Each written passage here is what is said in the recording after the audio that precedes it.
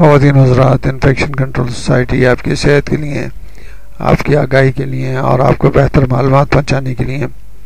मजामी आपकी समात के लिए पेश करना चाहती है, जिससे इस्तफ़ादा हासिल करके आप अपनी बीमारियों को, अपने मसाइल को हल कर सकते हैं और जो फैमिली के मसाइल हैं उनको कम कर सकते हैं।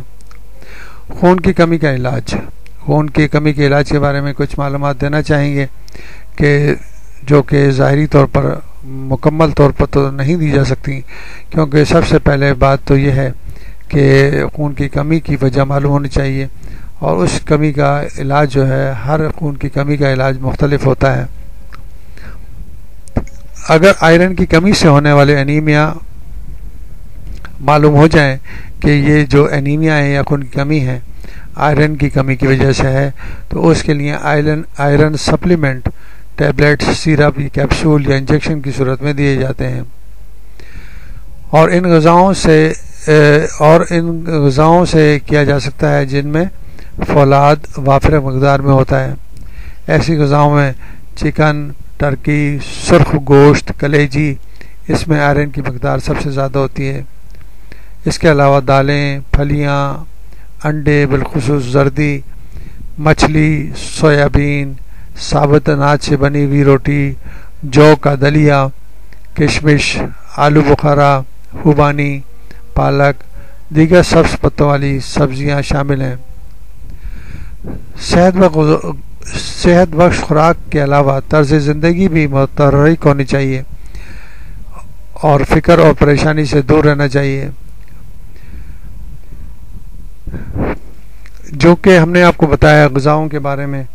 जैसे जिसमें फलाद की की खासी मकदार होती है। वो ज़रूरी है कि उसको इस्तेमाल करके खून की कमी को दूर किया जा सकता है।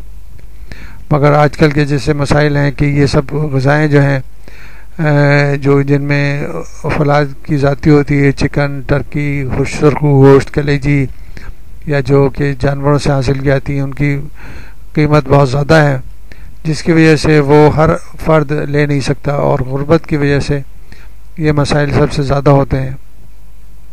उसके लिए ऐसी अल्टरनेटिव दवाएँ ऐसी अल्टरनेटिव गज़ाएँ इस्तेमाल करनी चाहिए और कुछ सप्लीमेंट दवाओं की सूरत में इस्तेमाल करनी चाहिए, जिसकी वजह से, जिसके ज़रिए से आयरन की कमी पूरी हो सके।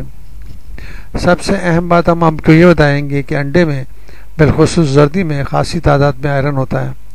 और अंडा एक ऐसी गज़ा है जिसके अंदर कंप्लीट जो नशो नुमा के लिए जो ज़रूरियात होती हैं, एक एक एक जानवर के लिए, यानी कि एक मुर्गी के लिए, एक मुर्गी के बच्चे के लिए, जो भी पैदाइश के लिए जो गज़ाई ज़रूरियात होती हैं, जिसमें बालों का बनना है, हड्डियों का बनना है, आँतों का बनना है, खून का बनना है, जिसम के अंदर दिल का बनना है, दिमाग, सारी चीज़ें उस अंडे के अंदर पूरी मौजूद होती हैं।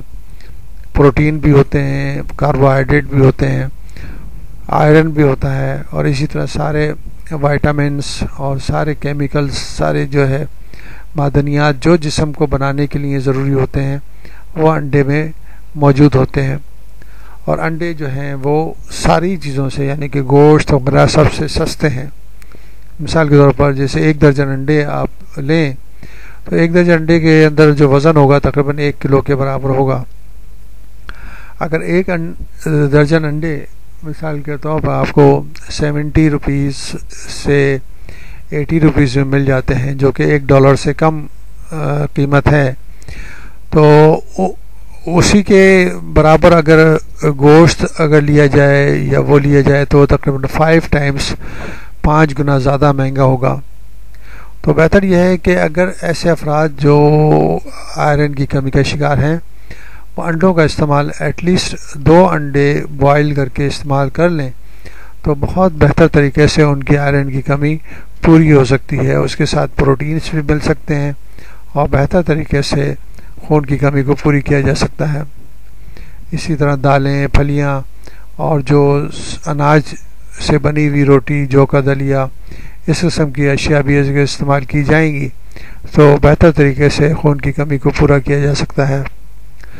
तो कोशिश ये करनी चाहिए कि मालूम अगर हों तो आप जो है सस्ती खुराक से भी खून की कमी को पूरा कर सकते हैं। अगर खून कहीं से ज़ाया हो रहा है, किसी वजह से ज़ाया हो रहा है तो उसको रोक कर भी खून की कमी को पूरा किया जा सकता है, या रोका जा सकता है। तो बेहतर यह है कि सारी मालूम अगर हासिल होंगी तो आप बेहतर तरीके से इन मसाइल को हल कर सकते हैं। और अपने फैमिली के मसाइल को हल कर सकते हैं और अपने माश को भी बेहतर बना सकते हैं। और जो पैसा बीमारियों पर खर्च होता है, उसको बचाकर अपनी फैमिली की तरक्की के लिए उसको खर्च किया जा सकता है।